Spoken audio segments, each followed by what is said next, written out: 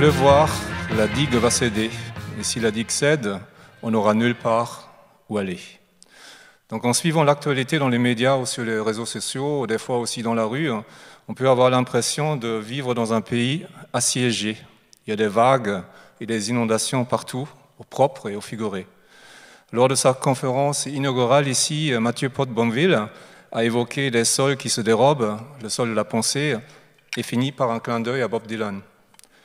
Donc Dylan nous avertit qu'il est temps d'apprendre ou à se mettre à nager si on ne veut pas couler comme une pierre, car les temps changent. The times they are changing. Donc ma petite introduction musicale signée Led Zeppelin et Hindenburg pour les dirigeables voudrait donc exprimer ma dette à Mathieu Potbonville, primo, pour m'avoir donné euh, l'idée de cette table ronde en publiant sur son site des notes sur la transgression, qui commence par une citation qui est maintenant très connue. On ne peut plus rien dire, et se termine par le fait que la polysémie de la transgression, je cite, ne justifie en rien la paresse ou la mauvaise foi de tel renversement. Dans son, article, il euh, développe par ailleurs que euh, on peut peut-être décider que la transgression euh, est différente si, selon la position où elle, se, elle opère, soit, soit dans une position de pouvoir, ou soit donc là où il y a déjà les micros, comme ici, ou soit dans la rue où il y a des gens qui crient ou transgressent pour demander une reconnaissance ou euh, une égalité de droit. Donc, deuxièmement, il y a une autre chose pour m'avoir, ou pour avoir ici même tracé un chemin fragile dans sa conférence, euh, qu'on pourrait emprunter. Donc, nous pouvons y arriver, nous mettre à nager et nous orienter dans une eau montante grâce à une pensée foucaldienne qui nous livre des outils et grâce aussi à l'engagement et volonté politique dont le patron de ces rencontres ne s'est jamais défaussé. Dans des interventions brèves, nous allons tenter de démêler les chevaux des inversions, inventions et diversions dans les discours politico-médiatiques, particulièrement dans ceux qui concernent la recherche universitaire et plus largement l'enseignement depuis la maternelle. Cela va tellement vite que même des spécialistes s'accrochent à des détails et perdent de vue l'ensemble. Donc, je donne juste un exemple, parce qu'il y, en a tant. On démontre par exemple que Pétain n'a pas sauvé les juifs français, des juifs français, au lieu de dénoncer la politique raciste à l'encontre de tous les juifs et autres minorités.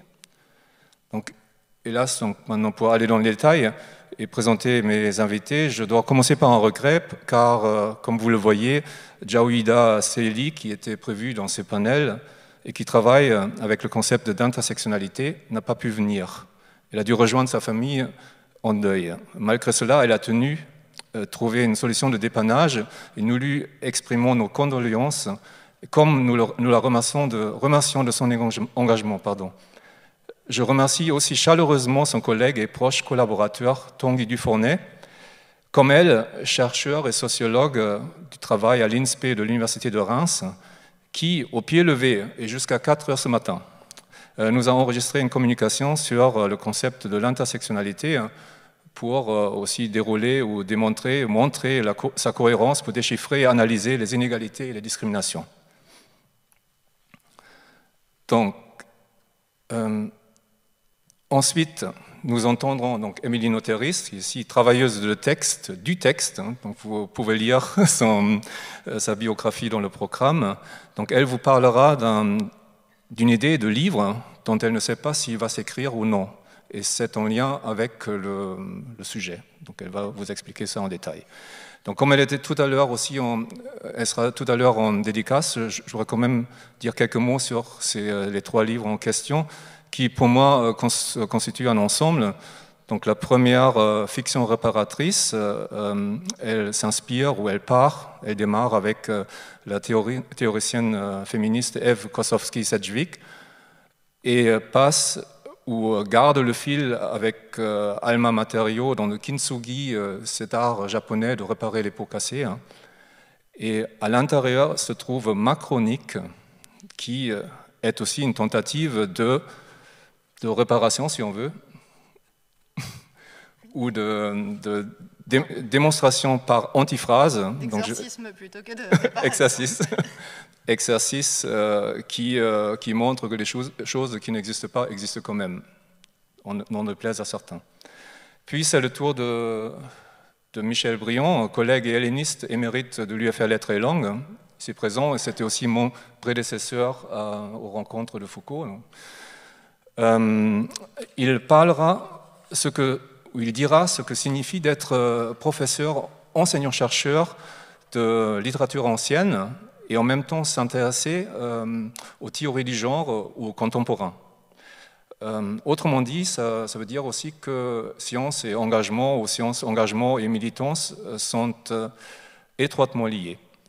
Et avant de discuter avec vous l'ensemble, parce qu'on va enchaîner, hein, je vous présenterai à l'exemple de trois textes brefs de Kafka ce que peut apporter une approche décoloniale à l'analyse littéraire. Dans tous les cas précités, hein, le mouvement est à double sens ou dialectique, de la théorie vers les objets d'étude, des objets d'étude vers la théorie. Et nous commençons tout de suite par la communication enregistrée de Tanguy Dufournet. Bonjour à tous et toutes. Tout d'abord, je tiens à vous présenter mes excuses pour, mon absence aujourd'hui, bien que euh, ça soit un plaisir euh, tout de même d'être là, de participer euh, à cette table ronde à partir d'une autre temporalité et d'un autre espace. Comme vous avez certainement dû vous en rendre compte au timbre de ma voix, peut-être que cela d'ailleurs vous a été annoncé, je ne suis pas Jawida Saïli. Elle est évidemment désolée de ne pas être parmi vous aujourd'hui, elle a été euh, retenue par des circonstances personnelles.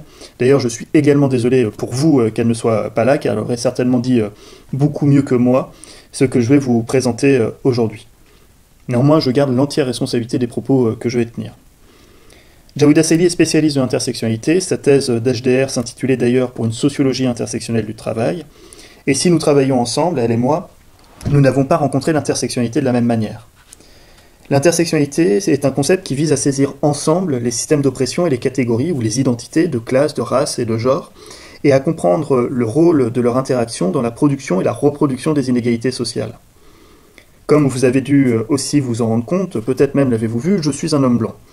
En somme, ces assignations de genre et de race n'ont jamais été problématiques ou stigmatisantes socialement pour moi. En revanche, Jawida Saili a fait la double expérience du sexisme et du racisme. Pour le dire autrement, les processus de racialisation et de genre ont participé pleinement à sa construction identitaire, c'est-à-dire à sa catégorisation sociale. Bref, là où j'ai saisi l'intersectionnalité par la théorie, elle l'expérimentait. L'intersectionnalité n'est pas qu'un concept, c'est-à-dire un outil d'analyse des faits sociaux, mais c'est aussi l'expression existentielle d'un vécu. Je ne rentrerai pas là dans le détail, il y a des manières multiples de vivre ou de survivre à la domination. L'une d'elles, toutefois, est la conceptualisation il y a, en raison du vécu de la domination, un impératif à l'expliquer, à la comprendre. Saisir les processus sociaux de catégorisation sociale et genrée, ce n'est pas seulement théoriser, c'est aussi, en tant que dominé, préserver sa santé psychique en mettant à distance les stigmates de l'oppression. Reconnaître sa propre détermination par des forces et des structures sociales qui nous dépassent, c'est se libérer du poids injuste de la responsabilité de sa situation, c'est s'autoriser à reprendre du pouvoir dessus et à faire émerger des marges de manœuvre. Bref, c'est dire avec force que nous ne sommes ni responsables ni coupables du racisme et du sexisme que nous subissons. L'intersectionnalité est donc tout à la fois un outil d'analyse des configurations et des processus euh, du pouvoir, mais aussi une boussole qui oriente l'action en mettant en évidence des relations d'interdépendance. Pour le dire plus clairement encore que je ne l'ai fait jusqu'à présent, le concept même d'intersectionnalité a une filiation directe avec le concept marxiste de point de vue. Le point de vue, c'est l'idée que les personnes les plus à même de rendre compte de l'oppression sont d'abord les personnes opprimées elles-mêmes. Dans les termes de Marx, c'est les travailleurs qui, c'est le travailleur qui est le mieux placé pour rendre compte de l'exploitation capitaliste. Notons d'ailleurs, contre certaines lectures marxisantes, et je ne vise absolument pas des auteurs comme Beau et Noiriel, euh, que Marx insistait sur la spécificité de l'oppression raciste en ne réduisant donc pas l'ensemble du champ social à une grille de lecture classiste.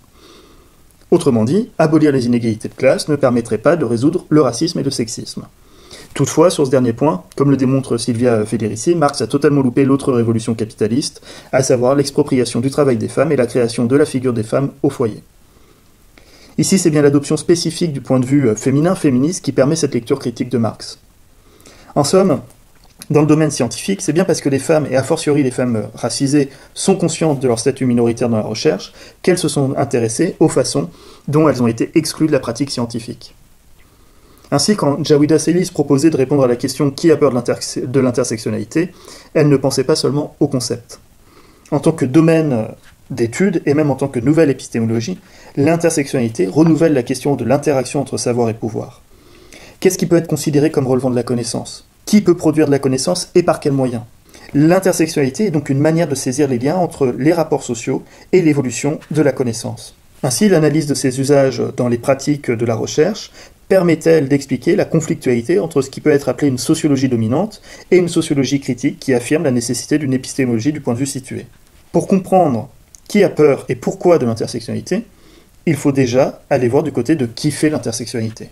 Si la première partie de cette présentation répond à cette question, je souhaiterais étayer la réponse avec une analyse que j'avais réalisée de 105 thèses en préparation en 2016 au sein d'un laboratoire de sociologie. Il est possible de répartir en quatre catégories. Celles qui ont un usage explicite du concept d'intersectionnalité, soit dans le titre, le résumé ou les mots-clés. Celles qui usent de concepts connexes comme discrimination, identité, interculturalité celles qui pourraient potentiellement euh, l'utiliser, soit en raison de la population euh, étudiée, soit en raison euh, de l'objet, soit en raison de la configuration sociale investie, et enfin celles qui n'ont a priori aucun lien ou lien direct avec ces questions. Ces catégories donc, ont été construites à partir de l'analyse des titres, 105 titres, des thèses, de leurs résumés pour 25 résumés, et ou des mots-clés pour 19 thèses. Ces informations publiques ont été obtenues en croisant donc les informations présentes sur le site du laboratoire et les informations présentes sur le site thèse.fr. Toutefois, pour environ 61 thèses, n'ayant que le titre en ma possession, il faut euh, nuancer euh, l'analyse que je présente par le fait que ces catégorisations s'appuient euh, en partie, en grande partie, sur mon interprétation des sujets. Le premier élément de constat peut paraître plutôt encourageant. Sur 105 thèses, 88 thèses appartiennent à l'une des trois premières catégories. Cela représente 83% des thèses en préparation. Pourtant, quand on rentre dans le détail, cela est vite nuancé. Si 47 thèses utilisent des concepts connexes et que 37 thèses ont euh, un potentiel pour l'analyse intersectionnelle, il n'y a que 4 thèses qui usent explicitement du concept d'intersectionnalité. Quand on analyse ces quatre thèses, on constate premièrement que trois d'entre elles sont suivies par le même directeur. L'intersectionnalité est mentionnée dans les mots-clés plus que mobilisée dans le titre ou euh, le résumé de la thèse. Toutefois, dans les résumés, on trouve des notions comme colonisation, discrimination, identité spécifique. De plus, un autre élément s'impose sur les quatre thèses, tous les doctorants peuvent être qualifiés de concernés, puisque racisés. Ainsi, le critère déterminant ne semble pas tant être qui dirige, mais qui produit. Notons également que ce sont des thèses qui ont débuté en 2014, soit entre 5 et 10 ans après l'émergence du concept d'intersectionnalité. Pour continuer, les thèses qui utilisent des concepts connexes sans faire référence à l'intersectionnalité sont au nombre de 47. Un élément relativement frappant réside dans la manière dont la question de la race, au sens sociologique du terme, n'est pas posée. On parlera de culture, ou même d'interculturalité, de groupes d'appartenance, d'exclus sociaux, de milieux populaires, de migration, mais jamais de race. Parfois, parfois même, il arrive qu'on associe euh, les concepts de genre et de classe sociale. En somme, si l'identité étudiée est indéniablement genrée et parfois socialement située, situation euh, qui pourra se cristalliser dans les formes urbaines habitées, jamais le privilège blanc ou le stigmate que fait euh, peser la race comme élément surdéterminant ne sera posé. Cette sociologie semble donc interroger les inégalités et les processus discriminatoires, mais qu'à la condition que l'analyse les blanchisse? Ce blanchiment est consécutif de ce que j'interprète comme non seulement le maintien du point aveugle qu'est la race, un effacement d'autant plus aisé que les doctorants mobilisés euh, sur ces sujets sont dans leur écrasante majorité blancs, mais aussi en raison de l'adoption d'un regard culturaliste et même homogénéiste de la classe sociale. Ainsi, la seule catégorie qui serait opérante serait le genre. Pour finir cette analyse des thèses, j'ai classé 37 euh, d'entre elles euh, dont un usage de l'intersectionnalité serait possible. Elles ont toutes euh, en commun d'appréhender les faits sociaux étudiés à travers un prisme exclusivement organisationnel ou purement représentationnel. Dans ces cadres de pensée, il n'est pas question d'individu ou d'identité, sauf si elles sont essentialisantes comme l'homme, la femme, la parenté, mais de structure et de dynamique sociale aveugles aux catégories de domination. Pourtant, les objets étudiés ont été investis par les études euh, sur les discriminations, mais cela ne semble pas véritablement être questionné. Au contraire, la manière d'aborder euh, ces sujets semble indiquer un souci euh, particulier d'adoption d'une posture neutre et objective. C'est pourquoi, en fondant la connaissance sur les expériences, les théories féministes du point de vue, comme l'intersectionnalité, défient les, notions épistémologiques traditionnelles telles que l'objectivité. Ainsi comme le concept de genre en son temps, la notion d'intersectionnalité, modifiant les prismes à travers lesquels saisir la complexité des faits sociaux, euh, rencontre un certain nombre de résistances. d'une part des résistances politiques, et cela quel que soit le parti, se nourrissant directement d'une idéologie et d'une rhétorique d'extrême droite. Je ne reviendrai pas là sur les nauséabondes polémiques dont les principaux effets ont été euh, l'essor du terrorisme d'extrême droite, de l'extrême droite elle-même, et la stigmatisation de millions de Français, qui se sont d'ailleurs traduits parfois par des menaces de mort à l'encontre de chercheuses et chercheurs. Il me faut pardon, euh, souligner qu'ici, euh, l'un des effets a été l'émergence de mouvements de chercheurs militants d'extrême droite au sein de l'université, avec la multiplication de tribunes et d'ouvrages polémiques accusant l'intersectionnalité de participer, pour ainsi dire, au grand remplacement de la pensée française. Accusation d'importation euh, du concept américain, alors même que la rhétorique anti-intersectionnalité est directement issue euh, du Tea Party états-unien. Par exemple, euh, un regard rapide sur la liste des signataires du manifeste des 100 informe sur les statuts hiérarchiquement élevés des quelques chercheurs et chercheuses encore en poste, Néanmoins, il s'agissait bien d'instrumentaliser ce statut de pouvoir pour justifier une posture idéologique, puisqu'aucun et, aucune des signataires ne travaillait sur euh, le sujet de l'intersectionnalité, et délégitimer des recherches intersectionnelles solidement ancrées méthodologiquement et théoriquement. On y trouve par exemple Nathalie Henich, sociologue de l'art au CNRS et auteur du pamphlet euh, Ce que le militantisme fait à la recherche, qui écrivait dans la revue Débat en 2017, je cite, Au nom de quoi justifier que nous soit versé chaque mois un salaire, si ce n'est au nom de l'objectivité, même contextuelle, du savoir produit et transmis? Fin de citation. Cette objectivité n'est rien d'autre que la subjectivité du dominant qui impose son hégémonie et sa représentation du monde social, une subjectivité qui a établi comme dogme des théories et des méthodes dont la scientificité devrait d'abord reposer sur leur capacité à être falsifiées, c'est-à-dire à être démontrées fausses, et ensuite sur la possibilité de les critiquer et de les amender. L'approche intersectionnelle donc remet directement en cause les positions de pouvoir des individus qui maintiennent cette subjectivité euh, dominante en participant à l'émergence de connaissances minoritaires et surtout en introduisant les minorités elles-mêmes dans le champ de la connaissance scientifique. Pire, en réalité, les minorités cessent d'être spoliées de leur savoir situé et ce sont elles qui aujourd'hui ont l'occasion de faire carrière sur leur sujet. Elles cessent donc, euh, les minorités cessent donc euh, d'être objet d'eux pour devenir sujet d'eux. Les résistances universitaires et scientifiques se manifestent donc en lien direct avec les résistances politiques, on vient de le voir.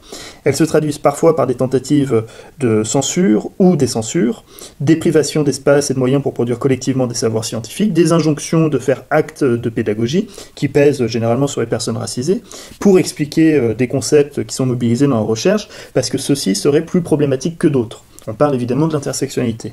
Mais ces résistances scientifiques prennent parfois des formes plus subtiles et démontrent l'hétérogénéité même du groupe femmes. Certaines chercheuses, souvent blanches, quelque temps auparavant aussi l'intersectionnalité, deviennent subitement, à l'occasion de ces polémiques, des porte-drapeaux et des spécialistes de l'intersectionnalité, tout en invisibilisant et en dépossédant au passage les collègues racisés de leur recherche et de leur travail porte-drapeau d'une intersectionnalité académique, en somme, qui, euh, au même titre que le féminisme euh, académique, n'émerge qu'au prix de leur dépolitisation et surtout de leur blanchiment. Tout devient intersectionnalité à condition que la race soit occultée, comme tout était devenu genre à la condition de mettre loin de ces questions les problématiques trans et queer. Évidemment, je ne nie pas l'existence de travaux sérieux en matière de genre ou d'intersectionnalité. En revanche, je souligne que leur institutionnalisation a un coût, celui de la conformité au dogme dominant. Le débat autour de l'intersectionnalité et l'intersectionnalité elle-même révèle l'incapacité ou le refus de certains groupes de chercheurs, occupant souvent des places dominantes, à se penser comme un groupe professionnel dont les enjeux de carrière, de place et de pouvoir ou d'influence peuvent parfois se trouver en contradiction avec les intérêts bien compris des sciences sur le long terme. Pour le dire autrement, ils sont producteurs ou productrices d'un discours permettant d'asseoir leur légitimité et d'assurer leur domination. La subjectivité du dominant, c'est-à-dire l'objectivité, dicte sans les dire les valeurs et les règles en vigueur et correspond en une certaine mesure à un ethos professionnel qui se traduit dans des pratiques et des évidences intériorisées, des sanctions symboliques euh, et réelles, l'autocensure ou la censure de certains concepts. Bref, cette éthique se déduit de la pratique, elle est euh, une praxis du devoir et de l'obligation. C'est pourquoi la question euh, formulée par Foucault que les théoriciennes de l'intersectionnalité ont abordée frontalement est d'autant plus d'actualité je cite, Ne faut-il pas se poser d'abord la question, s'interroger sur l'ambition de pouvoir qu'emporte avec soi la prétention à être une science? Donc je passe euh, la parole à, Émilie. Euh, bonjour. Euh, je voulais tout d'abord commencer par remercier Martin et sa fidélité, puisque ça fait déjà trois fois que je viens à Poitiers depuis quelques années et qu'il m'invite à intervenir. Bah, comme il l'a dit, il va s'agir d'un livre euh, dont on ne sait pas s'il est en train de s'écrire, s'il est véritablement commencé et s'il va finir par s'écrire réellement. Donc j'ai intitulé mon intervention euh, La transgression normative. Je vais commencer par une citation, puisqu'un livre s'ouvre en général souvent sur des, appels de ce, de ce type. Donc je cite Si bien qu'entre le puritain rassis et grisonnant, guetté à un âge avancé par l'intempérance sexuelle, entre l'élégante jeune personne qui court les jazz et les boîtes de nuit et qui affirme nous pouvons tout faire, quand on est capable de penser une chose, on peut aussi la faire, et enfin le lecteur corrompu et dépravé qui a l'esprit plein d'ordures et qui en cherche partout, mon livre trouve à peine l'espace pour se mouvoir. Mais à eux tous, je réponds, gardez, gardez vos perversions si vous les aimez, votre perversion de puritanisme dévot et votre perversion de libertinage élégant et votre perversion d'esprit dépravé. Pour ma part, je reste fidèle à mon livre et à sa position. La vie n'est supportable que lorsque le corps et l'âme vivent en parfaite harmonie, qu'il existe un équilibre naturel entre eux et qu'ils ont l'un pour l'autre un respect réciproque. Ça, c'est D.H. Lawrence, Défense de Lady Chatterley. Ça a été écrit en 1930. J'avais eu envie d'écrire, dans le courant de l'été 2019, un ouvrage qui s'appellerait La transgression normative. Nous sommes en 2021 et je n'ai toujours pas commencé à l'écrire. C'est un livre que je n'écris pas. Dans l'introduction de ce livre que je n'écris pas, je pourrais commencer par raconter d'où m'en était venue l'idée. La pensée avait germé à la découverte d'un ouvrage de la poétesse et artiste américaine Susan Ho, La marque de naissance, qui venait alors de paraître en français. Sa lecture m'avait absorbée, malgré la contrariété occasionnée par le masculinisme du traducteur français, qui refuse tout au long du livre l'accord au féminin, avec des phrases aussi insupportables que celle-ci. Euh, Dickinson, on parle d'Emily Dickinson, est un poète de premier ordre aux côtés de Shelley et d'Olderlin. Elle est l'une des plus grands poètes de langue anglaise.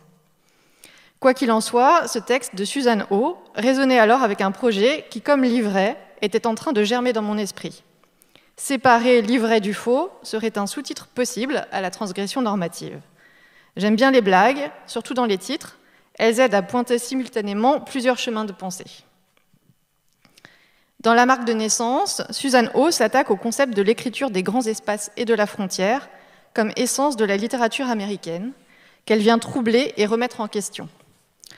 Au grand récit des grands auteurs et poètes américains, elle oppose une histoire latérale et souterraine, celle des récits dissidents ou de captivité écrits par des femmes, Anne Hutchinson, Mary Rowlandson par exemple. Elle s'intéresse à la manière dont leur parole a été recouverte par celle des hommes. Il s'agit de prendre l'histoire de la littérature, grand H et grand L, à l'oblique, de séparer l'ivraie du bon grain. Le bon grain étant compris ici comme celui qui, homologué par l'histoire officielle, aiderait ensuite à fabriquer le bon pain quotidien de la littérature. De repérer les mauvaises herbes. L'ivraie enivrante, parfois accidentellement employée pour fabriquer le pain, avait le pouvoir magique de faire tituber le sujet qu'il absorbait, rendu ivre par la fausse jumelle du blé. Suzanne O déniche quant à elle l'ivraie pour la donner à nouveau en partage, pour faire tituber la grande histoire. Je me suis demandé, dans un mouvement parallèle à la lecture de ce livre, quel pourrait être l'équivalent français de cette remise en question de l'identité littéraire américaine. Et j'en suis arrivée à ce concept de la transgression normative. Si la littérature américaine a été prise dans le béton des grands espaces et de la conquête, de la transgression des frontières, l'identité de la littérature française a été prise dans le béton du catholicisme transgressé, comme grand geste de l'auteur forcément masculin et blanc. Le sexe masculin comme unique rempart dressé contre la religion et le puritanisme oppressif, le sexe comme unique religion, unique libération.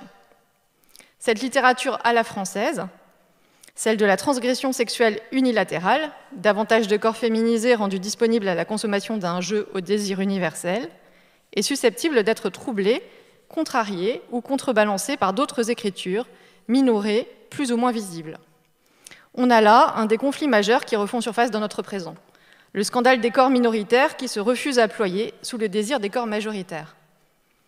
Cette réflexion découle de la floraison constante d'expressions courantes comme liberté d'expression, ou liberté d'importuner, hissait-elle des drapeaux bleu, blanc, rouge face au très américain cancel culture ou wokism.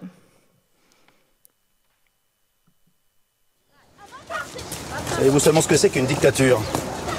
Une dictature, c'est quand les gens sont communistes, déjà.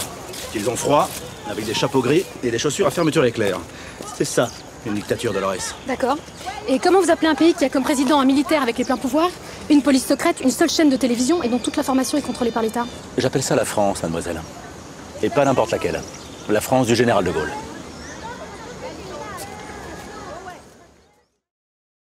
La conférence qui va suivre notre table ronde, Les nouveaux censeurs, judicieusement formulés au masculin, s'inscrit d'ailleurs dans cette optique.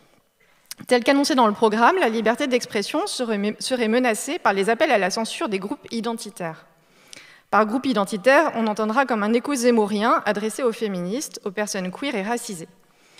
Il est intéressant de constater que cette part réactionnaire qui s'insurge aujourd'hui contre la prise de parole des minorités, en réponse aux abus de pouvoir dont elles sont la cible, se revendique le plus souvent d'une liberté sexuelle et d'une attitude transgressive soutenue par des grands gestes d'écriture. Ce que je nomme la transgression normative, à la fois pour leur céder momentanément sur l'emploi du terme de transgression qui leur plaît tant, et pour leur envoyer au visage avec davantage de netteté et de précision. L'historienne Laure Murat, qui donnait cet été une conférence au banquier de la Grâce, proposait la définition suivante de la cancel culture. Alors je cite Récemment interrogée sur la question, la très francophile Judith Butler répondait à Télérama J'ai l'impression que cela obsède beaucoup les Français, dit-elle, avec un point d'exclamation. Je leur suggère d'être prudents sur le sujet, car chez nous, on voit bien que l'indignation devant la console culture tourne au pire conservatisme, à la droite de la droite. Pour moi, cette pratique vise à réparer des injustices flagrantes a posteriori. Elle peut donc être utile réparer des injustices flagrantes a posteriori. Difficile de mieux ramasser les enjeux qui font polémique. Ils sont condensés dans chaque mot de cette proposition. Tout le monde, en effet, n'éprouve pas la nécessité de réparer. Réparer l'histoire, proposer des récits alternatifs, telle est la tâche qui s'ouvre, selon moi, aujourd'hui à la littérature française. Dans cette introduction à la transgression normative, il serait judicieux d'évoquer à présent un exemple personnel qui engage l'écriture dans un mouvement déjà enclenché par la pensée. Les choses sont bien faites, j'en ai justement un à ma disposition. Invité récemment au Centre Pompidou à l'occasion du Baudelaire Poetry Day en septembre 2021, j'avais proposé une intervention intitulée Celle qui écrit son histoire réécrit l'histoire. Le titre avait été emprunté à l'autrice et artiste ghanéenne et écossaise Maud Salter, pour qui la figure de Jeanne Duval, Vénus noire de Charles Baudelaire, avait été une grande source d'inspiration. Pour Baudelaire, Jeanne Duval représentait une transgression sociale, celle d'avoir pour maîtresse une métisse et de vanter sa beauté dans des poèmes. Elle y était toujours décrite par lui comme la femme mauvaise et tentatrice, l'ultime séductrice. À relire Les fleurs du mal aujourd'hui, on bute à la fois sur racisme et sexisme. Le poème Les bijoux, sur lequel s'était arrêté Maud Salter, se clôt sur une éjaculation de lumière rouge sang sur la peau noire de Jeanne Duval. À la suite de Baudelaire, les surréalistes Michel Léris et André Breton, fascinés par l'exotisme et les pays d'Afrique, se sont pris au, piège d'un même cocktail savant, fait de racisme et de sexisme, qui traversa le mouvement surréaliste de part en, part. Relire aujourd'hui les textes d'auteurs français majeurs comme Charles Baudelaire, Michel Léris et André Breton, pour faire ressortir parallèlement à l'opération de transgression littéraire en jeu le sexisme et le racisme, pourrait être aisément qualifié de woke, de lecture éveillée, si vous préférez. Qu'est-ce que Black Lives Matter et MeToo ont à nous apprendre du surréalisme français De quelle manière la littérature française s'est-elle bâtie? De quel bois de chauffe s'est-elle alimentée? De quoi hier sera-t-il fait, comme le demandait le titre de la conférence de Laure précédemment citée? Tirer des leçons de l'histoire, d'une nouvelle lecture de l'histoire, ce n'est pas demander son annulation, mais sa recontextualisation. On a besoin de voir clairement apparaître les failles, les fractures et les accidents pour pouvoir opérer une réparation. Une réparation ne saurait nier les ruptures et les séparations, elle se soutient au contraire de leur reconnaissance. Voilà. Merci.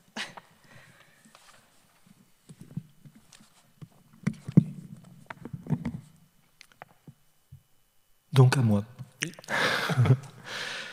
euh, alors c'est pas la première fois que je viens à Poitiers puisque j'appartiens à l'université de Poitiers. Mais en revanche, c'est la première fois que j'interviens sur euh, une question qui me tient à cœur depuis le début de ma, de ma carrière euh, universitaire. C'est-à-dire l'idée que tout savoir est situé euh, individuellement et collectivement, que l'université est inscrite dans un contexte, dans la, la cité et que la production des savoirs, non seulement, mais aussi la diffusion des savoirs, est en fait un acte, un acte militant. Euh, c'est à différencier de toute tentative d'endoctrinement. Vous avez peut-être vu que la semaine dernière, le Figaro Magazine a fait un dossier très riche intitulé Comment on endoctrine nos enfants, en condamnant tous les enseignants, hein, en considérant que, euh, en effet, les enseignants pratiquaient euh, la cancel culture, le wokisme, euh, etc. Termes d'ailleurs que ces journalistes auraient du mal à, définir. je ne leur pose plus la question. voilà, c'est ma, position. pour situer plus précisément encore, cette question de l'universitaire engagé, c'est aussi la situation de l'universitaire interdisciplinaire ou transdisciplinaire qui travaille dans plusieurs champs euh, académiques. Il ne vous a pas échappé que les études, les domaines d'études qui sont euh, attaqués violemment euh, s'intitulent études de genre, études postcoloniales, etc. C'est-à-dire que ça ne correspond pas aux disciplines universitaires du type lettres, histoire. C'est à chaque fois la définition d'un objet d'étude euh, à propos duquel euh, on va adopter les points de vue euh, les plus variés pour saisir les objets, leurs problèmes, etc., de la manière la plus complète possible.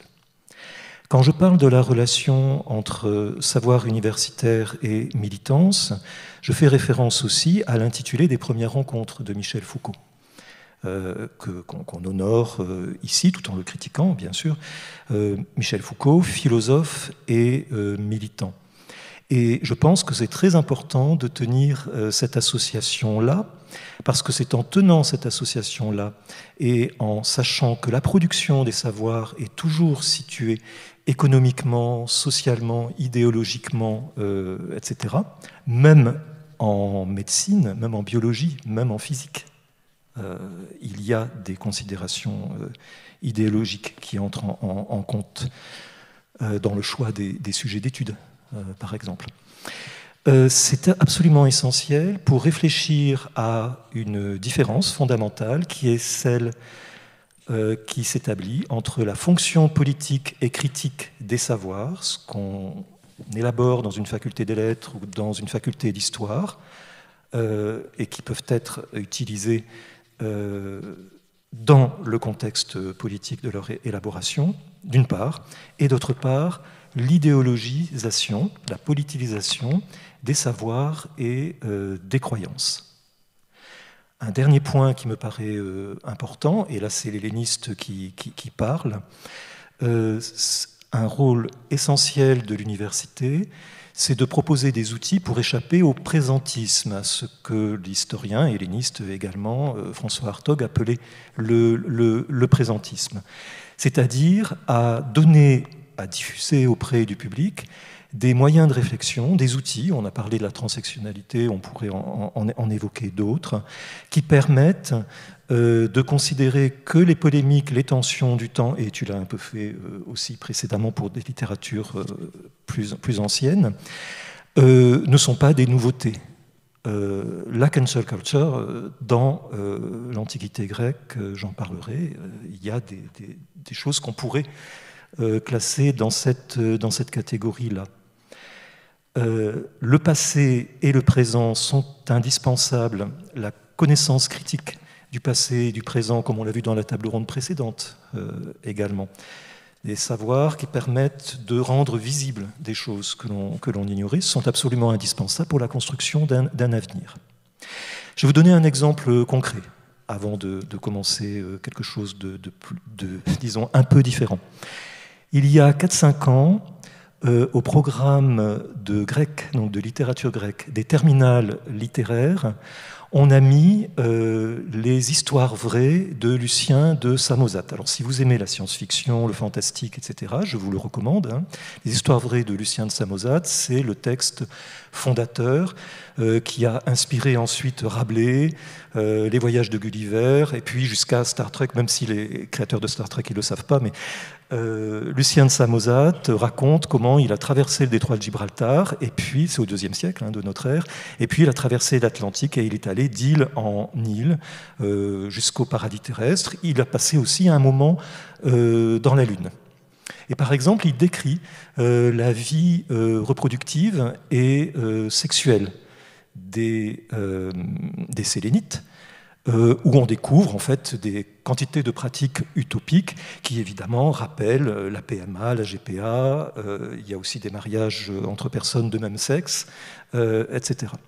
À la publication de ce programme, qui a été maintenu par la ministre de l'Éducation, évidemment, il y a eu des attaques extrêmement violentes euh, du côté plutôt euh, extrêmement euh, à droite ou intégriste, hein, en particulier des intégristes chrétiens, parce que, eh ben, là aussi, on commençait à endoctriner nos enfants en traduisant et en commentant un texte du deuxième siècle, du deuxième siècle de notre ère, parce que, en fait, ce texte avait de grands torts.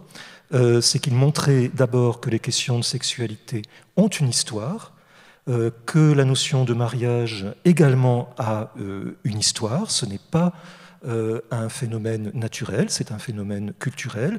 Et en plus, ce type d'ouvrage, la science-fiction, l'anticipation, peut servir à ça d'ailleurs encore, encore maintenant, nous permet d'imaginer des situations d'écart ou de décentrement par l'imaginaire, ou bien par l'histoire euh, lointaine, ou bien par l'observation d'une culture géographiquement également lointaine, ce qui nous permet de réduire nos, évidences, de les critiquer, de prendre distance avec ce qui nous paraît, euh, avec ce qui nous paraît, euh, naturel. Au même moment, vous savez qu'il y avait la manif contre certains, hein, la manif pour tous. Euh, et euh, que la ministre de l'Éducation, en revanche, n'a pas tenu euh, pour l'abécédaire de, l'égalité, hein, contre lequel il y a eu voilà, une réaction extrêmement violente de ce type de, population, d'associations, etc., qui maintenant, en ce moment, depuis quelque temps, insistent encore plus euh, sur ce qu'elles appellent donc cancel culture. Je préfère parler français, moi c'est la culture de, l'élimination, mais elles en parlent beaucoup, elles le repèrent beaucoup chez les autres, hein, chez des minoritaires, justement parce que ce sont de grandes spécialistes. L'extrême droite est extrêmement euh, efficace euh, dans ces choses-là. Voilà. Alors, Lucien de Samosat, il est intéressant pour une autre raison aussi en plus de nous indiquer euh, la fonction critique hein, de, la littérature, par exemple, de, la fiction comme expérience de, pensée, euh, et euh, aussi le trouble qu'il peut y avoir entre toutes les binarités qui nous paraissent évidentes, comme masculin, féminin, euh, homo, hétéro, euh, nature, culture, et puis il y en a, il y en a plein d'autres euh, également. Il est aussi un, inventeur d'un genre particulier qui s'appelle le dialogue des morts, dans lequel, sous forme d'expérience de pensée fantastique également, il imagine euh, que des morts aux enfers euh, discutent entre eux, même s'ils sont euh, d'époques tout à fait différentes. Donc là, je vais m'adresser à partir de maintenant à, Michel Foucault, parce que les techniciens du TAP sont très très forts, hein. je suis sûr que Michel Foucault va nous, va nous, entendre. Foucault, le philosophe, et Michel, le militant. Je vous voirai l'un, je tutoierai l'autre. Alors, en revanche, les compétences des techniciens du TAP sont telles qu'il n'y a n'y a pas de retour possible, donc nous n'aurons pas, je regrette, les réponses de euh, de, Michel Foucault. Euh, et j'aborderai trois points importants euh, à ce sujet. D'une part, la sexualité, d'autre part, le discours, et enfin la liberté de, penser que je mettrai à chaque fois en relation avec des expériences d'universitaires. Pardon? Il me reste cinq minutes. Bon, bah ça, je suis toujours trop long. Alors, je vais aller, je vais aller, je, vais aller plus vite. Je ne vais pas adopter le dispositif euh, que je viens d'indiquer. Tant pis, ça sera du, teasing. Ce sera pour une pièce de théâtre plus tard. Euh, une œuvre très importante pour les spécialistes de lettres classiques euh, comme moi, chez Michel Foucault, c'est l'histoire de la sexualité, à la suite de l'histoire de la folie ou de l'archéologie du savoir. Euh, en quatre tomes maintenant, la volonté de savoir, l'usage des plaisirs, le souci de soi, les aveux de la chair. En fait, Michel Foucault euh, théorise là sur ce que j'ai abordé tout à l'heure à propos de, euh, de Lucien de Samosat, c'est-à-dire l'idée que toutes les pratiques et représentations sont de toute façon à contextualiser. voilà et qu'il s'agit, le travail d'un universitaire, ça va être de construire euh, une archéologie, une généalogie de toutes les notions telles qu'elles soient. Notamment en étant inspiré de l'anthropologie culturelle la plus fréquente, en distinguant les catégories émiques, c'est-à-dire les catégories des gens à leur propre propos, hein, comment euh, les Grecs anciens parlaient du masculin, du féminin, selon quelle, quelle catégorie et les catégories éthiques, éthiques sans H, E-T-I-Q-E-S, c'est-à-dire les catégories euh, scientifiques, euh, rétrospectives, euh, etc.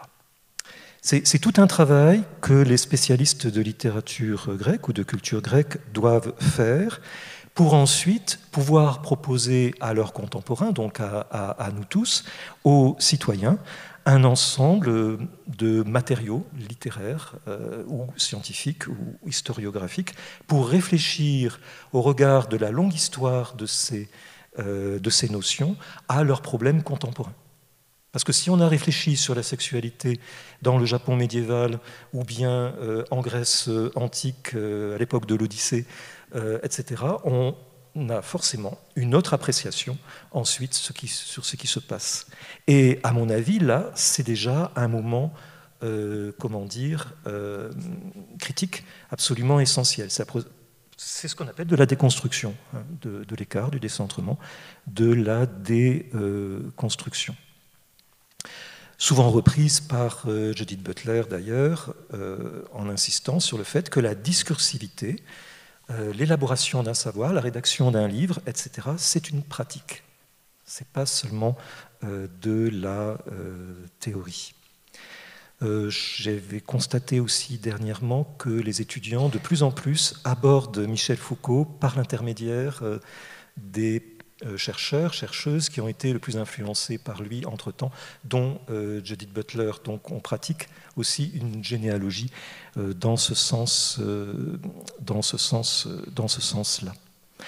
C'est pour ça que quelqu'un comme Sandra Beringer, par exemple, élabore des ouvrages qui s'intitulent Avant la sexualité la notion d'homosexualité, c'est une invention euh, tout, à fait, euh, tout à fait récente, à la fin du XIXe siècle, pour désigner une maladie mentale.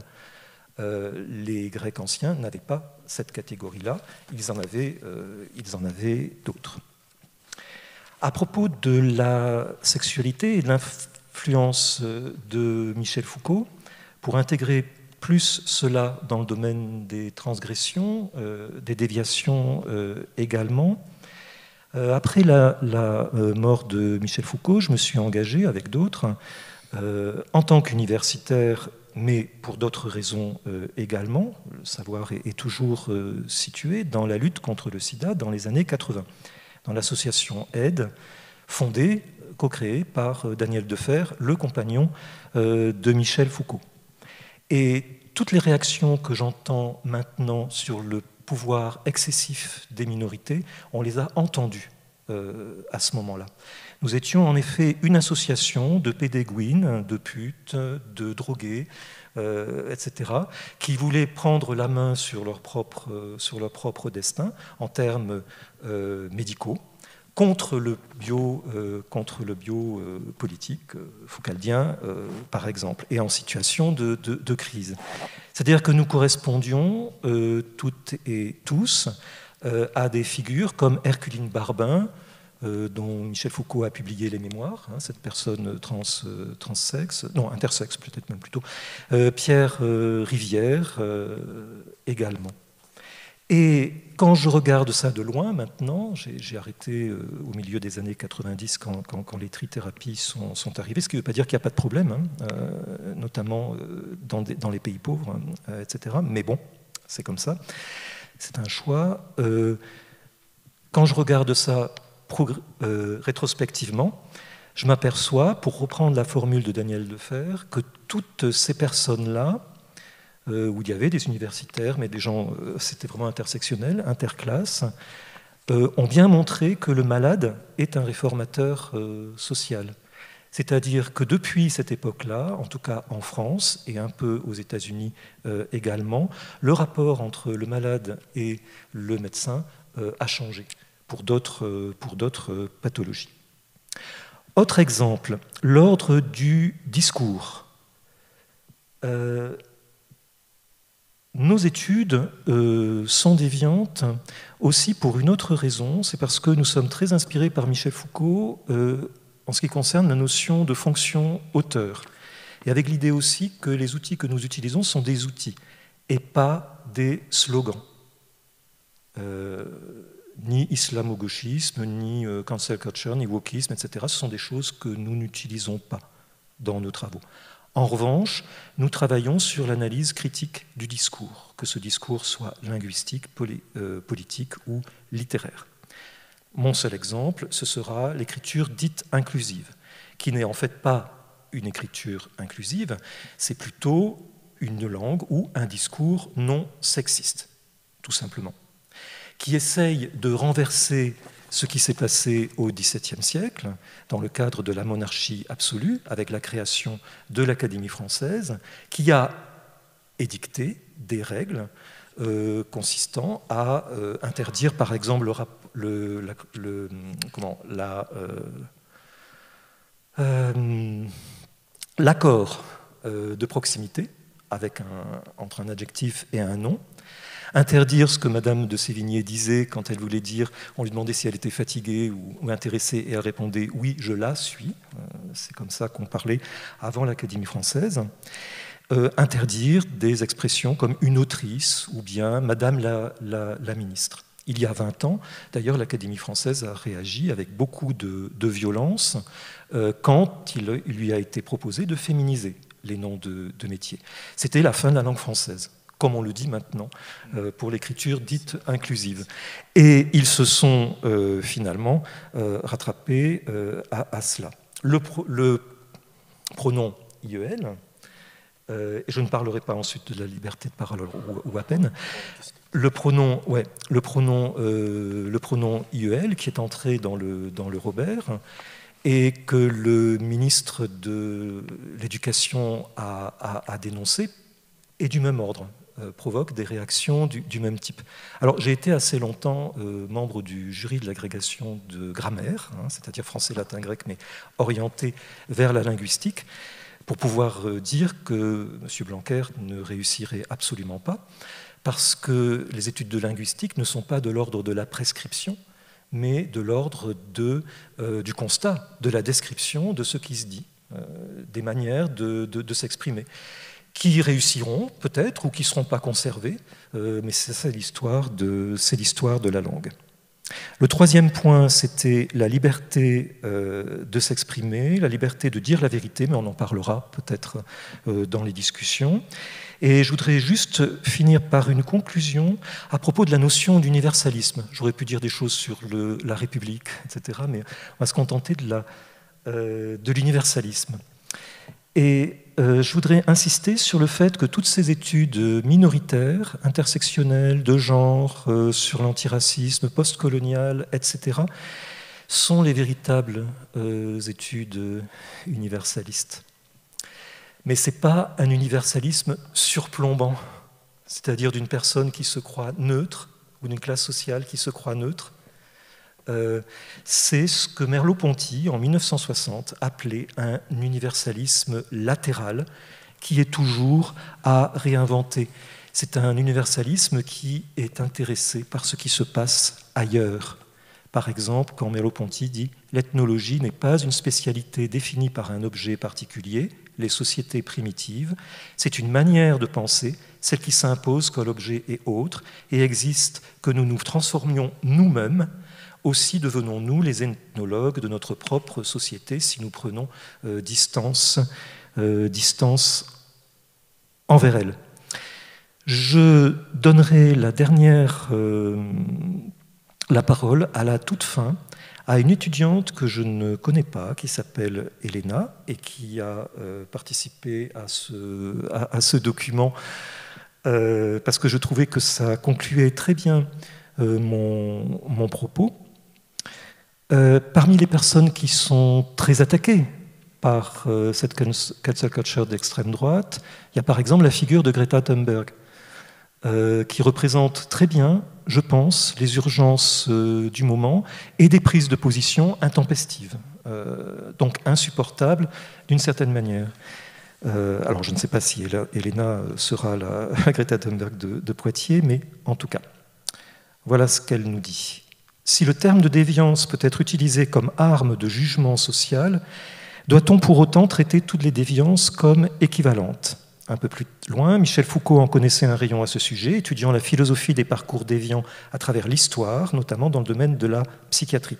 Si ces recherches nous permettent de nous questionner sur le rapport au sexe à travers les siècles, il ne faut pas, à mon sens, pour autant penser toute déviance comme nécessairement productive. Ainsi, pour finir, j'opposerai Michel Foucault à son propre discours. La déviance est en effet motrice de changement, mais là où la morale est un frein, par exemple la morale sur les écriture inclusive ou, d'autres choses, l'éthique est un garde-fou. Et je pense que ça correspond à, peu près à ce qu'Émilie nous a dit. Et j'ai été trop long comme d'habitude. Voilà, toutes mes excuses. Merci Michel. Euh, donc on va commencer ou continuer euh, toujours, euh, bon, c'est encore de la littérature, hein, parce qu'on vient du affaire de lettres, il y a un travail de, texte, donc c'est pas, c'est pas étonnant. Hein. Donc je voudrais commencer ma contribution euh, par un avertissement concernant les lectures possibles de Kafka. Donc, selon Walter Benjamin, Kafka a, tout fait pour rendre impossible les interprétations univoques et a dit que Kafka écrit des contes pour dialecticiens. Euh, Benjamin dit aussi que toute lecture euh, théologique ou psychanalytique de, l'œuvre de Kafka serait vouée à une impasse ou euh, un échec, ce qui n'a pas empêché de nombreux commentateurs de le faire quand même. si une chose est sûre, Kafka prend pour moi parti pour les dominés soumis à une loi aveugle ou souvent imprévisible, mais aussi pour tous ceux et celles qui cherchent une issue, entre guillemets, comme son singe devant l'Académie, dont il sera question tout à l'heure. Dans ses recherches, intérêts et à lecture, sa famille, on peut relever des liens avec l'Afrique. c'est d'ailleurs le, sujet d'un, petit livre qui, s'appelle Kafka's Relatives, Their Living and His Writing, même si lui, il ne, il ne travaille pas, beaucoup sur les textes, mais plus sur, les, euh, sur ses euh, rapports euh, familiaux. Donc, il y a un, oncle maternel qui apparaît dans les journaux qui s'appelle euh, l'oncle parisien, euh, Joseph Levy, qui a travaillé pendant 12 ans euh, dans la construction des chemins de fer du Congo belge. Et Kafka avait sur son chevet aussi les livres de Frobenius, qui était un des premiers à, une autre, une autre, un autre regard au début du 19e sur les, sur les colonies et qui euh, euh, essayait de démontrer aussi que ce n'étaient pas des peuples sans histoire qu'on a colonisés. Ce qui reste encore dans les esprits, euh, je, ne cite que ce fameux discours de Dakar de Sarkozy où il avait dit que l'Africain n'est pas entré dans l'histoire. Donc il s'intéressait aussi aux affaires d'époque ou du passé proche, comme l'affaire Dreyfus, qui, qui est un peu sous-jacent dans une des histoires aussi dans la colonie pénitentiaire ou à Sarah Bartman, euh, mieux connue euh, comme la Vénus Hottentote, euh, qui a d'ailleurs inspiré un film horrible Keshish. Donc, il ne s'agit pas d'ici de démontrer une énième fois que Kafka s'est mis à écrire à cause de sa famille ou des problèmes avec son père, y compris à écrire des histoires glauques ou incompréhensibles pour, cette même raison, mais plutôt de voir comment des intérêts et liens très divers pouvaient devenir la matière primaire de son écriture et comment, en fait, sans, prétendre que c'est une, une, interprétation euh, unique, une lecture décoloniale euh, peut à la fois mettre ces aspects en lumière, mais aussi enrichir la théorie décoloniale elle-même. Comme je l'ai annoncé tout à l'heure, il y a un aller-retour entre les deux toujours. D'autant plus qu'elle est habituellement prise plutôt dans, le, dans, un point de vue historique et moins du côté des histoires. Donc, euh, je prends comme exemple trois récits de Kafka pour être complet, parce qu'il y a trois qui rentrent dans ce domaine et qui pourraient être lus de cette manière-là dont je vais faire abstraction du dernier parce qu'on a déjà dépassé le temps et je ne l'avais pas prévu non plus de, le, détailler plus que ça parce que un livre excellent de Marie-José Monzin qui s'appelle Cas comme colonie a comme unique euh, sujet cette euh, colonie pénitentiaire. Donc juste pour euh, compléter les trois, le premier et aussi pour faire référence à Selua Lust Bulbina, qui, a beaucoup inspiré aussi ma lecture de Kafka, le, singe, de Kafka et autres propos sur la colonie, qui, peut bien mieux faire que moi dans ce temps imparti sur sur ces trois histoires, ou deux récits finalement. Donc, premier, le rapport pour une académie. Donc, un singe est invité par l'Académie des savants pour retracer euh, son devenir homme. C'est une histoire de subjectivation et aussi le parcours d'un assimilé. Ensuite, chacal et arabe, donc là c'est un voyageur du Nord, un Européen, est pris à partie par un chacal qui lui demande de débarrasser son peuple des Arabes. Donc ça peut être vu ou mis dans le cadre d'une histoire politique du sionisme ou aussi d'autres histoires de colonisation où la terre promise est déjà habitée, elle n'est jamais vide. Le troisième récit, donc comme déjà dit, juste pour être complet, euh, parce qu'il mériterait qu'on s'y attarde beaucoup plus, c'est dans la colonie pénitentiaire, donc c'est un voyageur étranger qui vient inspecter l'exécution des lois de la colonie, une mise à mort très lente, donc c'est un supplice, hein, et se trouve emmelé dans un conflit entre les procédures ancestrales et sa récente humanisation. Donc c'est pas pour euh, euh, plus, donc aussi pour on peut l'associer aussi à Surveiller et punir de, euh, Michel Foucault ou, même euh, Elsa Dorlin euh, Se défendre, qui commence tous les deux par un supplice et qui parle aussi que l'humanisation lui-même, elle-même, ne veut pas dire que c'est moins violent. Donc c'est aussi l'histoire d'un spectateur qui ne voudrait pas être impliqué au neutre. Je ne sais pas si vous connaissez l'élève Turles ou les désarrois de l'élève Turles de Mouzil. C'est à peu près la même situation de quelqu'un, de narrateur qui est pris à témoin et qui ne veut pas être impliqué, mais qui euh, euh, participe au service. Donc, commençons par la première, pour aller très vite. Donc, je vais juste vous afficher le texte, mais je vais continuer ma lecture. Donc, le, singe, devant la tâche qu'on lui demande l'académie, se trouve dans un entre-deux.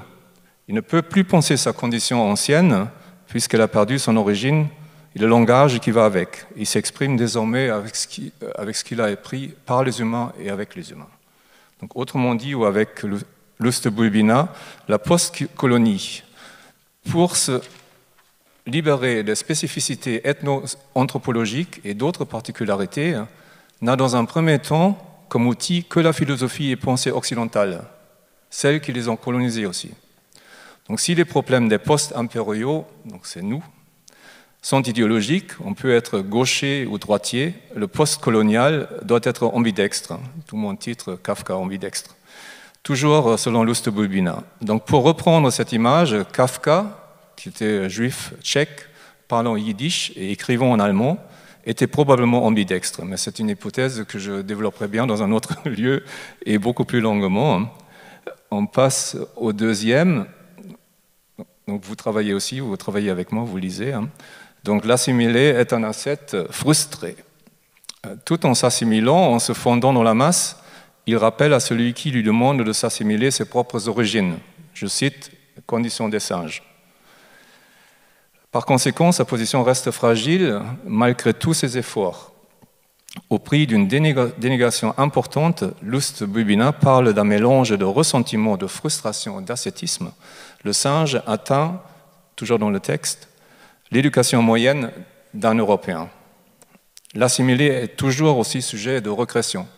Vous vous rappelez peut-être de l'histoire de Zidane, qui fut le modèle d'une assimilation réussie, juste avant son coup de boule contre Matarazzi. Donc, ou pour le dire avec le singe, l'issue humaine, entre guillemets, peut se reformer à tout moment.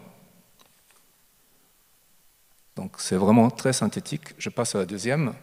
Euh, euh, chacal et arabe. Donc cet Européen savant du Nord, guidé par un arabe dans l'oasis, est attendu comme le Messie par les chacals et censé régler leurs problèmes avec les Arabes. Leur terre promise n'est ni vide ni pure, homogène, comme c'est dit dans le texte, c'est ce que le chacal reproche, et c'est un peu aussi le cauchemar du colon. Dans la bouche du chacal, on peut voir tous les préjugés courants sur les Arabes, donc la saleté, euh, la bêtise, la brutalité, etc. Il demande finalement à l'Européen de trancher la gorge à tous les Arabes au moyen, je cite, une petite paire de ciseaux de, couture couverts de vieilles rouille qui lui passe devant le visage. C'est à la fois une arme ridicule, mais blessante quand même. Donc Chacals arabe pourrait être une histoire raciste si elle s'arrêtait par le discours du chacal, mais l'arabe a le dernier mot.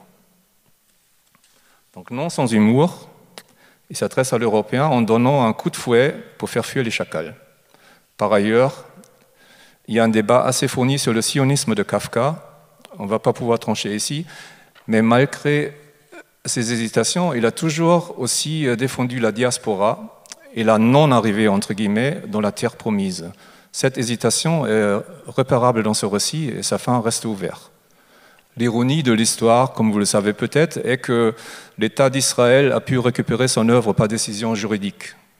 Euh, je, renvoie à un film de 2011 qui euh, s'appelle Le dernier procès de Kafka et un livre du même titre en 2018. Donc l'histoire chacal et arabe montre par le menu détail que le problème reste insoluble. À cette exception près, tandis que les Arabes semblent s'en accommoder chez Kafka, les chacals en souffrent. Puis, l'Empire et la colonie sont inséparables. Les chacals des uns sont les chiens des autres, avec toute leur ambivalence. On les aime, on les trouve, on trouve les siens plus beaux que ceux des autres, et on les fouette, entre guillemets. Donc je voudrais terminer par deux considérations ouvertes, soumises à discussion.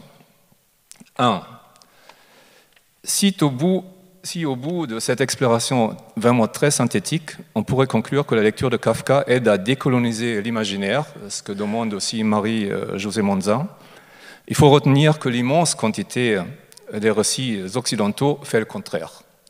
Comme l'a bien relevé Edward Said dans son livre Orientalisme, l'Orient créé par l'Occident. Donc je cite de très nombreux écrivains, parmi lesquels figurent les poètes, des romanciers, des philosophes, des théoriciens de la politique, des administrateurs d'empire, sont partis de cette distinction fondamentale, à savoir Orient versus Occident, pour composer des théories élaborées, des épopées, des romans, des descriptions de la société et des exposés politiques traitant de l'Orient, de ses peuples et coutumes, de son esprit, de sa destinée, etc. Saïd a été récemment euh, traité d'anti-occidental. Je ne sais plus par qui, comme, je l'ai dit, ça va trop vite. Ce qui me mène au point 2. Les voix venues des colonies se sont longtemps heurtées à un plafond de verre qui perdure. C'est d'ailleurs aussi c'était thématisé dans la communication de, de, euh, de Tanguy Dufournet qu'on n'a pas pu entendre jusqu'au bout, hein, parce qu'il décrit des expériences dans l'université même. Donc ça perdure et celui-là, Bulbina, pour ne parler que d'elle, euh, a eu longtemps du mal à trouver des éditeurs pour ses travaux et a dû entendre encore en 2007 sur France Culture, je cite, Il ne suffit pas d'être descendante d'un immigré algérien pour revendiquer une parole juste sur l'histoire avec un grand H. Si au fond ce n'est pas faux, on n'a jamais entendu la même le même genre de mise en garde adressée à un homme blanc et français de souche, entre guillemets. Le passage de Kafka que vous voyez à l'écran, qui pourrait s'inspirer d'une anecdote de son oncle parisien expatrié au Congo, montre aussi que nous ne nous débarrassons pas si tôt de notre imaginaire colonial ou post-impérial pour rester dans l'approche de l'Ustubulbina, comme des autres imaginaires déjà abordés par mes camarades. Merci. Et on peut peut-être passer à, la discussion. Déjà, si, euh, si, vous voulez intervenir sur euh, les uns, une et les autres, sur votre, vos propres euh, propositions, et ensuite on passe au public. Ouais, j'avais, justement, j'avais une question à Émilie. Peux, pour, lancer un peu la chose. Tu parlais de réparation dans, dans je crois que c'est dans Fiction réparatrice, tu parles aussi de répar, action, ou quelqu'un d'autre parle de toi comme répar, action. Oui, c'est dans l'introduction, c'est Mélanie Gourarier. Mm. Donc, euh, et je pense comme, euh, comme il y a eu aussi une grande étude d'Alexandre Jeffen sur, la, sur la, euh, la, fonction réparatrice de la littérature, je crois que c'est pas du tout la même chose. ce dont il parle, peut-être peut-être pour préciser un peu pour le public aussi ce, que, ce qui est la différence entre, entre cette attente d'une éventuellement d'une d'une littérature qui nous, euh, qui nous console et une littérature qui est, qui est réparatrice dans ton sens. Oui, moi, c'était pas pris au, niveau euh, euh, d'une écriture, enfin de l'écriture comme pratique thérapeutique ou comme manière de verbaliser et, de transcender des, problématiques. Moi, c'était vraiment plutôt l'opération de, de, réparation possible des binarismes qui m'intéressait. Donc c'était cette idée de, réparation queer, alors pour laquelle j'avais pris effectivement, comme tu l'as dit tout à l'heure, une sorte de figure totem qui était euh, le kitsungi. Le kitsungi, c'est euh, une euh, philosophie et une pratique japonaise de réparation des porcelaines brisées, où au lieu de se débarrasser d'un objet qui a été cassé, on le garde, on, ajoute un, trait d'or euh, avec euh, une, sorte de pâte qui vient sceller les, bords qui ont été brisés, et donc on opère une réparation.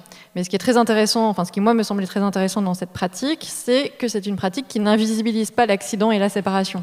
C'est-à-dire qu'elle est rendue à la fois immédiatement visible aux yeux de tous et de toutes, et en même temps, la réparation s'opère. Donc c'est ce double mouvement, c'est-à-dire cette reconnaissance des fractures, des blessures, des accidents. Et euh, c'est une figure qui est très utile. Enfin, elle a été d'ailleurs euh, reprise euh, assez régulièrement par l'historien Patrick Boucheron, qui, citait mon livre avec ce, cette, idée du kintsugi qui lui semblait opérante et, judicieuse pour ces questions de, réparation postcoloniale également. Voilà, donc je sais, je sais plus trop le fil. Donc c'est quoi cette réparation La différence entre moi et Alexandre Jeffen. Oui. Euh, bah, d'ailleurs, Alexandre, je l'avais invité à intervenir quand, euh, quand j'avais sorti euh, la fiction réparatrice, puisqu'il était en train de travailler à son manuscrit, justement, et qu'on avait pu échanger à un moment donné.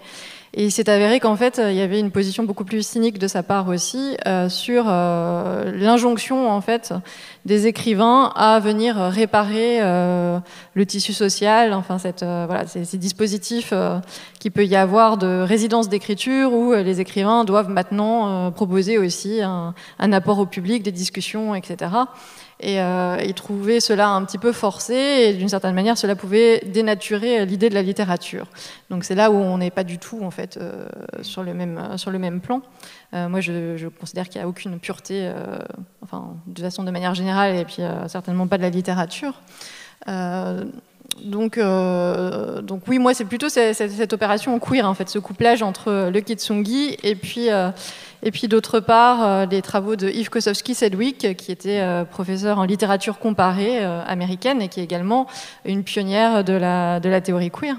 Et qui s'était interrogé justement pendant les années SIDA sur les théories du complot qui pouvaient circuler à l'époque, à savoir que le SIDA aurait été introduit pour se débarrasser d'une certaine portion de la population, donc avec une amie biologiste, Cindy Patton, elle s'est interrogée ensemble sur, euh, sur ces, toutes ces théories du complot qui circulaient.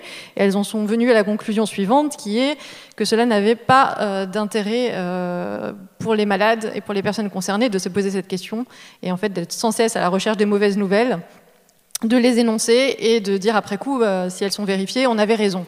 Parce que finalement, ça vient boucher l'horizon, et c'est pas du tout euh, une, attitude qui permet euh, de réparer, d'avancer et, d'accompagner les personnes malades. Donc elle proposait de mettre en regard de cet exercice paranoïaque une idée de, réparation, mais qu'elle n'a pas pu développer parce que bah, elle-même, elle a été aussi malade, mais plutôt d'un cancer du sein. Et c'est pas intervenu dans son écriture, elle n'a pas repris cette idée de réparation. Et moi, ça m'intéressait euh, de, la récupérer aujourd'hui dans le champ du féminisme et, de la théorie queer pour réparer ces binarismes, comme avec cette image du kitsungi, où euh, les séparations, euh, il ne s'agit pas de dire qu'elles n'existent pas, mais on peut aussi avancer dans des sociétés dans lesquelles ce ne sont pas ces focalisations-là qui existent. On ne se focalise pas sur les différences sexuelles ou sur les, questions de race. Donc euh, c'est un exercice de pensée et c'est euh, une sorte euh, voilà, d'image-objet qui, qui, permet comme ça de, de, donner une, matérialité en fait à, cette idée de, réparer.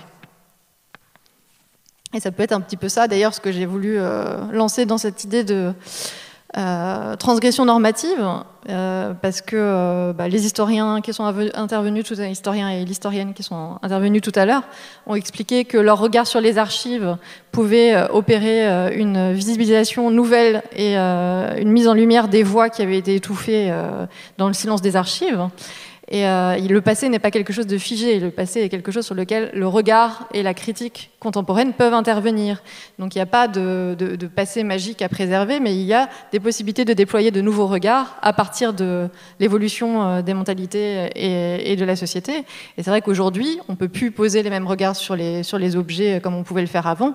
Donc euh, quand on, quand on s'intéresse, voilà, mon, principe c'était de s'intéresser à l'histoire de la littérature et des, voilà, des grandes figures qui ont été portées et qui peut-être aujourd'hui expliquent cette, euh, cet engouement pour, euh, pour ces questions de, transgression qui pour moi sont toujours attachées en fait, à, une idée de la religion ou au catholicisme, puisque finalement quand on regarde les œuvres de, Georges Bataille par exemple, cette transgression sexuelle elle est toujours euh, en réponse à la religion.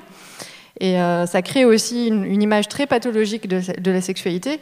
Et on peut, euh, enfin, à la même époque, il y avait d'autres voix, d'autres auteurs, d'autres autrices euh, qui ont écrit et qui écrivaient depuis des, positions beaucoup plus minoritaires, qui sont à explorer et à, remettre en lumière. Il ne s'agit pas d'effacer l'histoire littéraire. De toute façon, elle est ultra présente. Elle est menacée par rien du tout. Enfin, enseigné, ces grands auteurs, ils sont enseignés partout. Il n'y a, aucune crainte particulière. C'est juste d'apporter un regard, un éclairage différent et peut-être qu'aujourd'hui, on peut s'intéresser aussi à des voix qu'on a moins entendues et leur laisser un peu plus de place. Donc, ce n'est pas des questions de cancel culture, il ne s'agit pas d'annuler, mais peut-être de déplacer le regard ou de, s'intéresser à d'autres zones qui n'ont pas été éclairées de la même manière. En fait, interroger aussi le passé, on arriverait presque à une sorte de poncif qui, qui, qui était longtemps en, vue d'apprendre de, l'histoire, mais ce n'est pas non plus ça. Euh, parce que j'ai euh, été, euh, vacciné de, ça pendant mon enfance, parce qu'on a toujours dit plus jamais ça, plus jamais la Shoah, plus jamais le nazisme. Et il faut apprendre de l'histoire, il faut comprendre les années 30 pour ne pas répéter, les choses. Mais malheureusement, ça ne fonctionne pas comme ça. Par, par, contre, un regard sur le passé, comme tu, comme tu le dis, ou un autre regard aussi, comme on, tourne autour d'un arbre, en fait, euh, il, ne se présente jamais de la même manière euh, quand on est à gauche ou à droite, ou derrière, devant, dans la lumière ou dans l'ombre. C'est ça aussi qui est, intéressant, et j'espère je, qu'on a, qu'on a, pu faire passer cette, idée-là. Il ne s'agit pas de d'éliminer quoi que ce soit, c'est pas c'est pas le but, mais de C'est ce que Michel a dit pour l'écriture inclusive également. Hein. Oui, pour la et, et, comme ça, juste juste pour finir, parce que justement je voulais te poser une question sur la sur l'inclusif, parce que dans d'autres pays où il n'y a pas, d'académie à gérer la langue officielle, euh, la langue d'usage décide ce qui reste, ce qui disparaît. Euh, c'est pourquoi en allemand, on a plein de. Parce que pendant un moment aussi, ils se sont envahis par le latin ou par le, par le français ou par l'anglais. Donc ils sont mis à traduire tous les, termes étrangers. Euh, ce, qui fait maintenant, on, peut avoir pour le même, pour le même objet trois, trois noms différents. qui ensuite se différencier entre eux pour, pour, donner autre chose ou une autre vision. Mais, donc c'est à la fois, c'était à la fois une, une, une action de, de, défense, de défense peut-être même inutile, et un enrichissement en fait euh, de la langue. Et, ensuite, c'est les usagers qui décident de ce qui reste. Hein. Je, je sais pas, tu voulais euh, peut-être dire ça. Ça m'évoque plusieurs choses. Euh, en citant euh, Elena, euh, j'ai réemployé les termes d'éthique et de, morale, et ça c'est important pour la recherche universitaire, pour la recherche scientifique.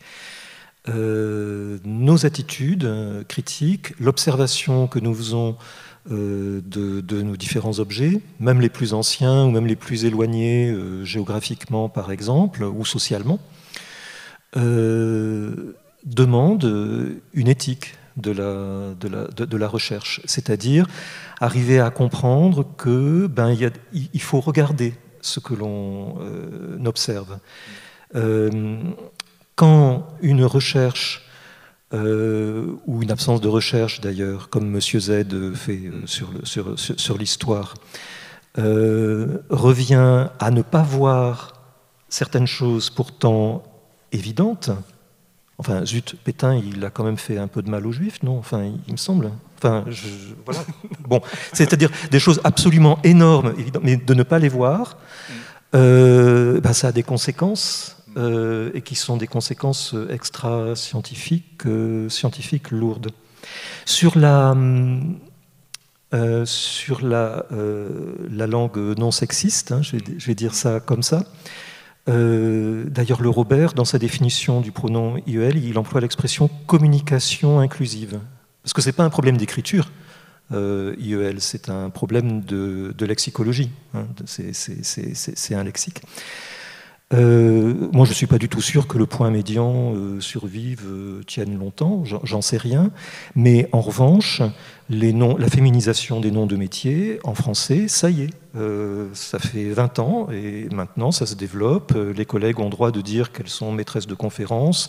On parle d'autrices, voilà. Et puis c'est la vie et c'est comme ça. C'est-à-dire que la langue change.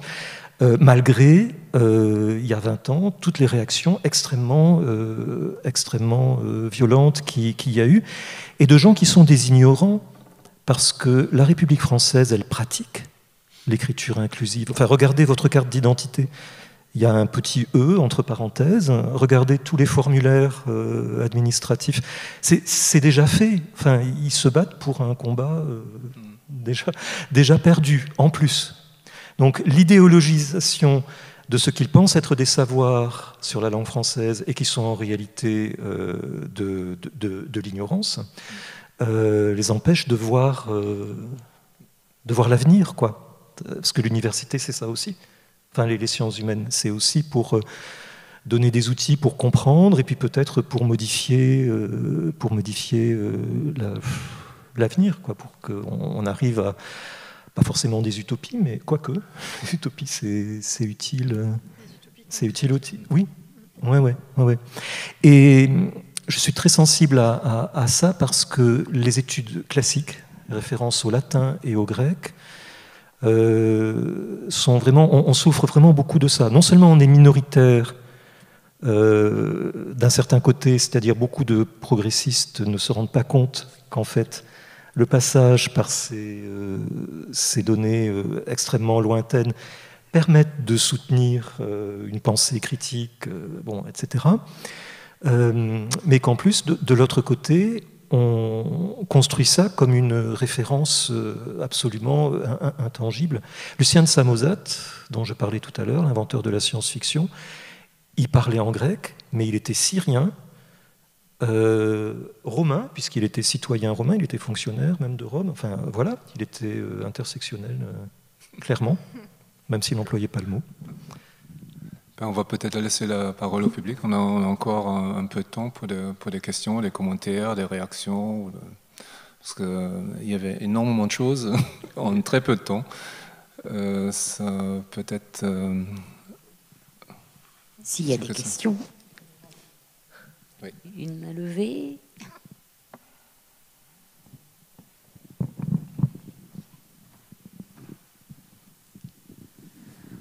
Merci. Alors oui, alors merci pour, euh, pour, pour, vos échanges et vos présentations. Alors, euh, il y avait effectivement donc euh, beaucoup d'éléments donc à l'intérieur. Alors je vais me contenter peut-être de, de, quelques remarques sous forme de, de, de questions. La, la, première, peut-être, est sur l'évocation de, Karl Marx par rapport à la parole qui peut être légitime ou pas. Parce que dans les risques, notamment, quand il parle du prolétariat, il dit que le prolétariat est aliéné et ne peut pas avoir euh, le, point de vue qui conviendrait et qu'il faut à ce moment-là le déléguer par rapport à des avant-gardes. Voilà. Donc ça, pose le problème là du, point de vue. Euh, deuxième élément, par rapport à, la posture éventuellement de l'universitaire ou du chercheur ou de la chercheuse, je repense à ce que disait Michel Perrault. Michel Perrault, elle disait qu'elle, elle était engagée par euh, le choix de ces objets, parce que travailler sur les femmes ou travailler sur la prison, c'est pas anodin. Mais elle disait aussi qu'elle, elle n'était pas militante, dans le sens où dans sa production écrite, elle restait engagée par le choix, mais elle ne voulait pas servir une cause ou faire une démonstration. Mmh. Et à chaque fois, elle a essayé de respecter cette ligne de crête, ce qui n'empêche pas, par exemple, dans d'autres types d'écrits, une tribune dans un grand quotidien, de prendre position et de défendre, par exemple, un féminisme radical. Mais du coup, elle a toujours euh, fait attention à faire cette distinction, parce que du coup, elle considérait que son propos, euh, par rapport donc aux lectrices et aux lecteurs, à ce moment-là, pouvait être légitime, puisque finalement, ce qu'elle faisait comme historienne, elle proposait un dossier, et elle laissait à ce moment-là à son lectorat le choix, à ce moment-là, de choisir ou d'interpréter ou de discuter éventuellement. Donc ça, ça, donc ça c'est quelque chose qui est, qui est difficile parce que c'est toujours un petit peu sur la ligne de crête, comment faire et comment ne pas dépasser et garder le, garde-fou. Et puis peut-être aussi sur, euh, sur Kafka, euh, parce que la, citation, là, moi j'ai trouvé très intéressante, mais je trouve que j'ai travaillé un petit peu sur le Congo belge, alors donc avec mm. euh, son cortège d'horreur absolue, mm. avec euh, les collègues belges qui avaient aussi tout un corpus photographique, donc c'est l'horreur là complète. Et du coup là, évidemment, ce qui est intéressant, alors ça c'est peut-être le défaut de l'historien, c'est d'avoir la date de la citation. Parce que en, fonction du propos, évidemment, la réception, là, n'est pas du tout euh, la même. Alors là, évidemment, je comprends bien qu'on ne travaille pas euh, de, la même manière, mais pour nous, c'est un élément qui est, quand même assez euh, judicieux. Et puis, dernier point, peut-être sur la question de réparer l'histoire. Voilà, dans des récits, de d'autres façons, c'est une question que les, historiennes et les historiens ont aussi essayé d'aborder en disant finalement c'est quelque chose qui est, assez complexe parce que finalement l'histoire, qu'est-ce que c'est? C'est on propose un récit sur une période du passé, quelle que soit cette période choisie. Et donc finalement ce qu'on peut faire advenir, c'est des voix discordantes qui n'ont pas forcément été entendues par d'autres historiens à des époques postérieures. Donc à ce moment-là, c'est plutôt en quelque sorte plutôt restituer la, pluralité des voix plutôt que, réparer l'histoire. Parce que si on met en comparaison l'histoire et la mémoire, la mémoire euh, n'est jamais l'histoire, mais les, mémoires ne sont pas forcément des mémoires concordantes. Donc il faut aussi accepter parfois que plusieurs mémoires puissent cohabiter pour tisser ensemble donc euh, un récit national. juste peut-être parce que c'est la dernière question posée, donc c'est pour rebondir avant que ça nous sorte de la tête. Mais euh, moi, effectivement, je ne suis, pas, suis pas historienne, euh, je suis autrice, mais euh, j'ai des discussions assez précises aussi à ce sujet avec un ami qui s'appelle Romain Bertrand, qui pratique plutôt l'histoire connectée et euh, qui s'intéresse, euh, enfin qui, s'intéresse en général aux, voix dans les archives qui ont été euh, qui ont été minorées, et il les remet en, contextualisation avec avec les paroles officielles des autorités, des gouvernances dans les dans les espaces coloniaux. Mais euh, quand, je, dis réparation, c'est euh, justement refaire surgir ces voix. C'est pas, euh, voilà, pas entendre d'une autre manière que celle de redonner de l'espace de parole et, une lumière à des, personnes qui n'ont pas, été traitées de la même manière par l'histoire. C'est-à-dire Romain, Romain, en général, lui, il s'intéresse aussi à des, à des paroles minoritaires qui sont euh, celles de, petits commerçants, euh, d'enfants accusés de sorcellerie. voilà, ce ne sont pas des personnages dits principaux de l'histoire telle qu'elle a été écrite, mais lui, il fait rebasculer le récit de telle manière que ce soit ces personnes-là qui deviennent les personnages principaux du livre qu'il est en train d'écrire. Donc c'est cette opération-là que moi je nomme réparation. Pas L'observation de, Michel Perrault, euh, j'y souscris évidemment euh, totalement. Après, ça dépend un peu de l'emploi des, des, mots, hein, notamment du terme euh, militant. Dans l'association Aide, on parlait plutôt de volontaires, hein, d'ailleurs, que de, militants. Mais je, pense que c'est important, en tout cas, de distinguer les deux types, les deux types de discours. Ça, c'est vrai. Mais en même temps, l'engagement de Michel Perrault fait aussi partie de son identité euh, d'universitaire qui souhaite euh, diffuser les, connaissances, les, euh, les, choses que l'on découvre, que l'on observe dans son propre travail, et, ensuite aux gens, au public, de s'en ressaisir. Parfois, c'est dangereux, parce que je voulais parler de la de la liberté de, parole. Enfin, les derniers travaux de Michel Foucault, c'était sur la paressia, hein, c'est un, terme, un terme grec qui veut dire libre parole, qui est absolument indispensable à la démocratie. C'est-à-dire que l'expression de désaccords, même violents, euh, sont, sont nécessaires. Et il y a tout le temps des gens du, grand public, activistes ou non, qui se ressaisissent des productions des, universitaires et qu'ils en font ce qu'ils veulent. Et parfois, ils détournent les choses.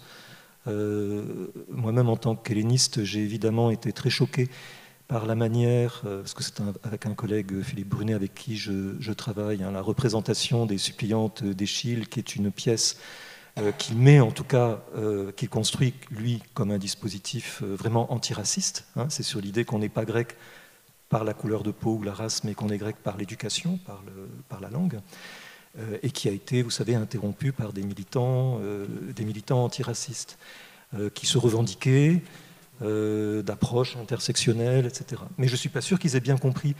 Euh, et je ne suis pas sûr non plus qu'ils aient même lu la pièce avant. Euh, voilà. Mais eux, ce ne sont pas des universitaires. Enfin, le, problème d'éthique ne, se pose pas. il, se pose, il se pose pour nous. Le problème qui se pose pour eux, c'est plutôt, bah, plutôt le droit. Hein, en fait, le, droit euh, d'expression, euh, etc.